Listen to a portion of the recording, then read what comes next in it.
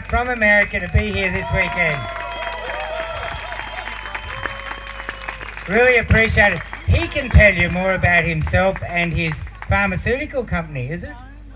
Than I can. Welcome to Nimbenbos. Well, I'd rather talk about how nice it is to be here and to meet all of these wonderful people that are here expressing freedom and the importance of really having a free society and changing the current paradigm of what's going on. And one of my efforts to do that is that we started a company called Cannabis Science.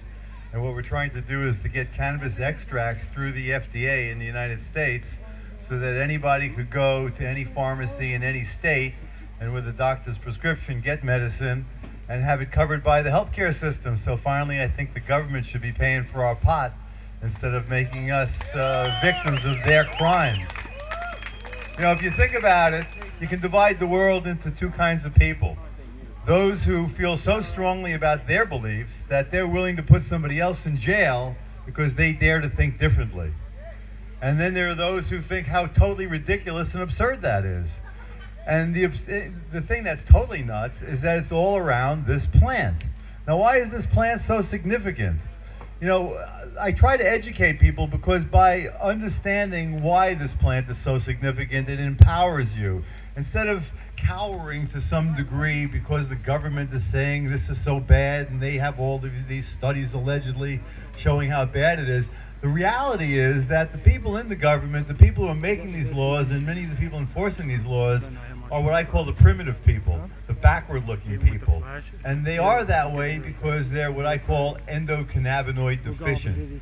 So I want to talk a little about that so you appreciate how significant, why cannabis is so significant to all of us. We all make marijuana like compounds. They're called endocannabinoids, cannabis from within. And we use those compounds from the time of our conception until the time of our death.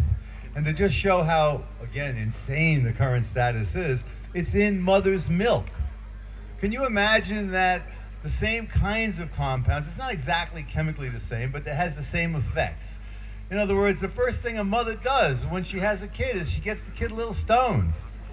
It gives the kid the munchies, makes him start eating, it relaxes him from the trauma of childbirth, it protects its brain from having, you know, been exposed to oxygen for the first time.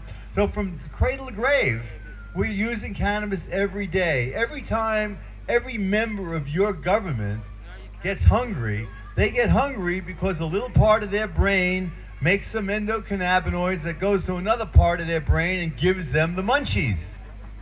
Everything that cannabis does is just amplifying effects of your endocannabinoid system.